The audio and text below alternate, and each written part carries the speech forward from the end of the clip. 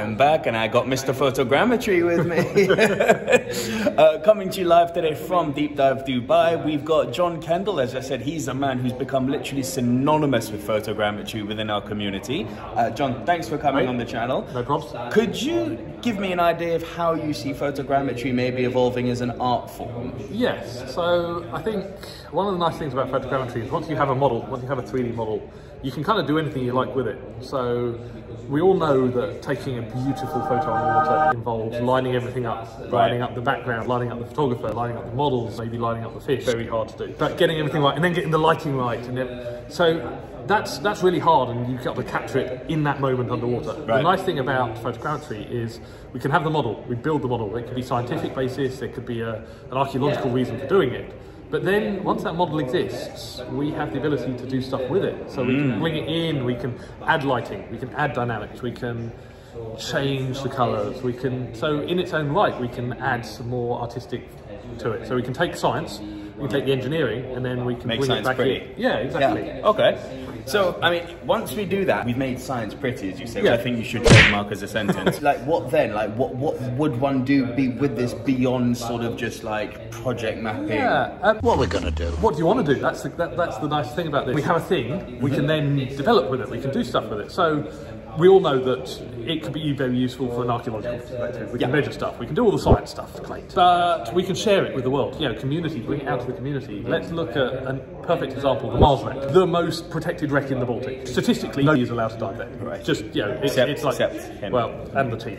And the team, big team. Not, um, but yeah, even then we get a license once a year to go and do a couple of weeks of projects. Anyone can visit it virtually. Anyone can visit it through the digital means. So this is a really cool thing, is Yeah. that we can share stuff around the world. Yeah, there's other sites, um, the stuff in Lipari, the stuff out in Egadi, the Battle of Egadi that Mario and the team have been doing. There's a lot of stuff, and if you go to the museum in Palermo, you can see some of the things that they've done. But that requires getting on a plane from wherever you are, unless you live in Palermo, and then going to the museum and then you see it. But again, because we bought some of the stuff online, we bought it digitally, we can share it with the world. And that's the really cool thing, is it opens up sharing of knowledge, sharing of technology, sharing history with people that wouldn't necessarily get to see it or understand it mm. If they had to go diving. Let's take it up a level. We've talked about making science pretty. We've talked about sharing. How do you actually see this science slash art form becoming a bit more mainstream? It's a good question, actually. What I've seen over the last year, year and a half is more and more people going to their own local dive sites and starting to develop a bit themselves. Um, so we're seeing more people who wouldn't traditionally have gone down this route because Right. you know it's a bit narrow, it's a bit geeky, it's a bit It's you know, techie. it's techie. Yeah. Um,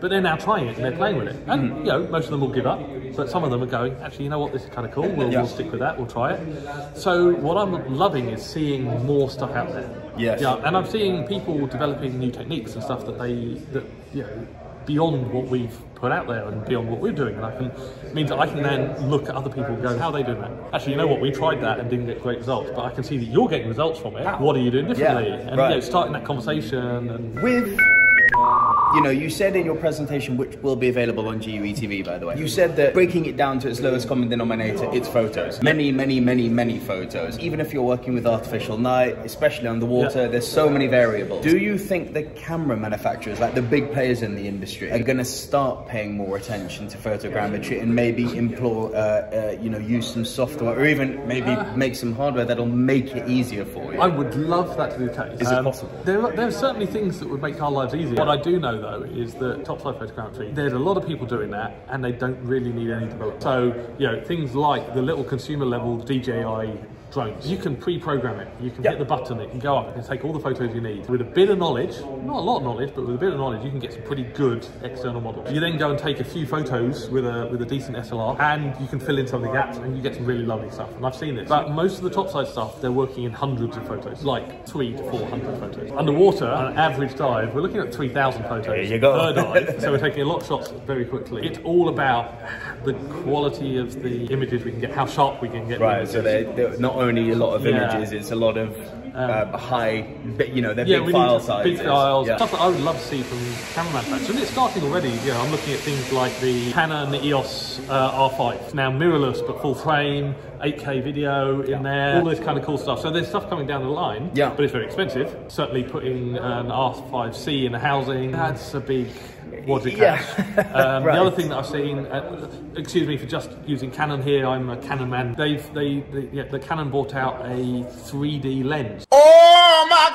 Oh! So for the R5, they brought out a lens with a beam splitter in Yeah. it. Now, I don't think the physics would work to enable us to use that to a dome port. You'd like it to, though. I would love you? it, and if someone wants, if someone wants to, yeah, send one to me to test. Yeah, I need the, the R5 as well as the, the lens. But yeah, feel free to send it over, and then I will make, I will come up with a way of making it work underwater. I'll try it anyway. Look, John's done a full presentation here at Deep Dive Dubai. That presentation will be available on GUE TV, so if you're not subscribed already, go check that out. And if you're new to the channel, you're interested in photogrammetry, keep it right here. Global Underwater Explorers right here on YouTube. Hit the like button, hit the subscribe button, and we'll see you very soon. Thanks, John. No problems.